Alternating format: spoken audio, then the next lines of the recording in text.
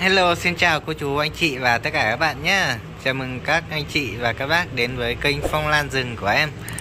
Và hôm nay em sẽ lên một video để giới thiệu đến toàn thể cô chú, anh chị và các bạn về cái giò Hoàng Thảo chuỗi ngọc Và những đặc điểm nổi bật của dòng này. Theo cô chú, anh chị và tất cả các bạn cũng biết thì đối với Lan Hoàng Thảo chuỗi ngọc thuần ở khu vực miền núi phía Bắc thì nó rất là dễ dàng. Tuy nhiên ở đồng bằng và thành phố thì thuần loại này cũng rất là khó nhé Tương đối khó đấy. Nếu không muốn nói là không thuần được thì nó gọi là tương đối khó. Này cho các bác quan sát và ngắm nghía một chút nhỉ. Này. À, đấy, cô chú anh chị và các bạn thấy nó đẹp không ạ? Hoa cực kỳ là rực rỡ luôn. Đó về cái à, đặc điểm loại này thì nó rất là đẹp và rất siêng hoa. Và nó không cần nhiều nắng mà nó vẫn có thể ra rất là nhiều hoa nhé. Hoa thì rất là đẹp rồi, với màu hồng nhạt. Và những cái à, ngọn cánh này, phớt tím này, một cái họng màu nâu, tô thêm một chút viền màu vàng và một cái mũi màu trắng tinh khôi. Rất là đẹp và cũng rất là thơm nữa. Ở đây thì em phát hiện nó có vài, vài nụ nó thui mất rồi. Tuy nhiên là vẫn có rất là nhiều hoa. Và loại này thì nở hoa vào cái thời điểm là tháng 3 nhé. Nếu mà bình thường mọi năm nó không rét thì nó sẽ nở đúng vào dịp mùng 8 tháng 3 cái do này của em nở được 2 năm vào mùng 8 tháng 3 rồi.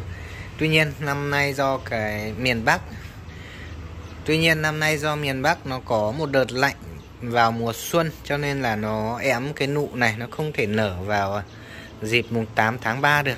Hôm nay đã là 26 tháng 3 rồi. Nó chậm mất tầm à, 15 16 ngày gì đấy. Và chắc chắn rồi không phải là năm nào cũng đen vậy đâu. Chắc chắn là có một năm nào đó nó sẽ không có ảnh hưởng không khí lạnh thì nó sẽ nở rất là đúng vào dịp mùng 8 tháng 3, một cái dịp rất là tuyệt vời. À, những bông này thì nó đã được uh, ngót nghét 10 ngày rồi cho nên là nó chuẩn bị uh, và nó chuẩn bị xuống sắc và nó đang uh, tàn dần đây. Có thể thấy rằng loại hoa này độ bền hoa cũng tương đối là cao nhé nó có thể được tầm 10 đến 15 ngày. Nếu mà chúng ta không tưới nhiều nước đây là em à, treo ở đây xong em vẫn tưới bình thường cho nên là những cái bông hoa này nó nở sớm hơn thì nó đã sắp tàn rồi. Còn bên này thì những bông này nó nở sau hơn nên hiện tại nó vẫn còn đang rất là đẹp đây do là hôm nay trời à, khá là nồm và có, còn có lớt phớt mưa nhỏ nữa nên là cánh của nó không được bay như là ngày nắng. Nếu mà nở vào ngày nắng thì những cái cánh này bay rất là đẹp nhé đó. Và một cái rể hoàng thảo chuỗi ngọc như thế này thì giá của nó cũng rất là rẻ thôi. Như một rể to như thế này thì nó chỉ dao động từ 300 cho đến 400 nghìn đồng nếu mà chúng ta mua ở những shop bán lan rừng. Tuy nhiên em chỉ review hoa cho tất cả các bác xem. Em không quảng cáo bán lan nhé Em cũng không có lan để bán nhé Nên là các bác mà xem được video thì cũng đừng có hỏi em là giò này bao nhiêu tiền vì em à, chỉ review và chia sẻ hình ảnh đến các bác thôi. Một cái loại lan rất là đẹp, giá rất là rẻ. Tuy nhiên nó chỉ hơi khó thuần một chút ở vùng đồng bằng.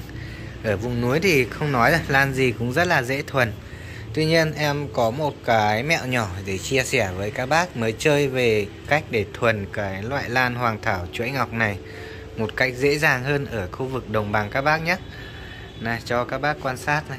Đây là một cái rể hoàng thảo chuỗi ngọc. Em mua từ lúc nó còn nguyên bản và bây giờ nó vẫn thế. Khi mà chúng ta ở đồng bằng chúng ta mua thì chúng ta chọn mua những rể to hơn và có bộ rễ chưa bị cắt. Thì lúc mà chúng ta mang về thuần thì chúng ta chỉ cần xử lý qua B1 Hùng Nguyễn rồi chúng ta mang đi ghép luôn và không cần phải cắt bỏ những cái rễ cũ. Các bác nhé.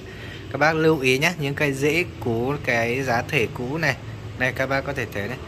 Khi mà chúng ta không cắt bỏ thì nó sẽ không bị trột một chút nào cả và trong quãng thời gian chúng ta thuần nó chưa ra rễ thì nó vẫn có dinh dưỡng ở trong những cái bộ rễ già này. Và tầm một năm sau nó thích nghi được cái khí hậu của vườn chúng ta lúc đấy thì nó sẽ bắt đầu ra những cái dế mới và nó không bị khô đi. Nếu mà chúng ta cắt sạch hết những cái dế già này đi, mà trong khoảng thời gian một năm nó mới ra dế mới và nó thuần hóa được cái tiểu khí hậu của vườn mình, thì lúc đấy những cây lan này nó đã teo đi rất là nhiều rồi, cho nên là tỷ lệ chết nó rất là cao. Đấy là những cái nguyên nhân chính ở cái loại lan này, nó khó thuần là nó như vậy kể cả là hoàng thảo chuỗi ngọc, hoàng thảo trúc phật bà hay là hoàng thảo u lồi nó cũng thế. Chúng ta không nên cắt hết những cái dễ già của nó đi, mà chúng ta chỉ lựa những cái dễ thối chúng ta cắt bỏ đi thì khi chúng ta thuần nó sẽ dễ dàng hơn rất là nhiều. Này, các bác có thể thấy này, hiện tại thì nó đang à, nhú những chiếc rễ mới rồi. Tuy nhiên cái chậu này của em thì thuần cũng được 4 năm năm nay rồi, nên là cái mức độ phát triển của nó hiện tại đang rất là mạnh. Này, các bác thấy này, em ghép rất là đơn giản, ghép vào một cái à, tấm thớt rất là bình thường. Và bên trên này, em à, để những cái bó phân phân dê. Và đây là những cái phân trì mỗi năm chúng ta sẽ thay cho nó hai lần là nó phát triển rất là vượt trội rồi. Loại này thì cũng không ra nhiều rễ là như là các cái ông phi điệp tím đâu. Loại này rễ nó bình thường đó đó và những cái đặc điểm và đặc tính của dòng lan hoàng thảo chuỗi ngọc, em vừa chia sẻ đến các bác. Mong là các bác sẽ chinh phục và thuần hóa thành công loại này ở khu vực đồng bằng nhé. Em cũng ở thị trấn và bên cạnh thì bê tông hóa hết rồi. Nhiệt độ mùa hè nó cũng dao động từ 35 đến 40 độ, rất là nóng luôn. Tuy nhiên, em thấy nó phát triển rất là bình thường. Không có dấu hiệu gì cho thấy là nó nó nó trột với cái nhiệt độ này cả. Nên là các bác cứ yên tâm mua về thuần nhé. Và lưu ý là mua giày to hơn một chút và không cắt bỏ những cái dễ còn tươi đi. Thế là ok rồi. Vậy là em vừa giới thiệu xong về cây hoàng thảo chuỗi ngọc đến toàn thể cô chú, anh chị và các bạn. Và cho các bạn ngắm hoa thêm một chút nữa rồi chúng ta cùng kết thúc video các bác nhé và nếu mà các bác lần đầu đi qua thấy video hay, hữu ích thì các bác đừng quên để lại cho một like, một đăng ký kênh và share cho những anh em bạn bè mới chơi lan của chúng ta cùng hiểu hơn về các cái dòng lan rừng khó thuần cũng như là các loại lan nó có những đặc tính khó thuần ở vùng đồng bằng. Trong thời gian sắp tới em sẽ liên tục ra những video về cách chăm sóc phong lan từ những loại khó nhất cho đến những loại dễ nhất và giới thiệu đến các bác về đặc tính của từng loại lan. Nên là em mong là các bác sẽ đăng ký kênh và mở chuông theo dõi để đón xem những video mới nhất.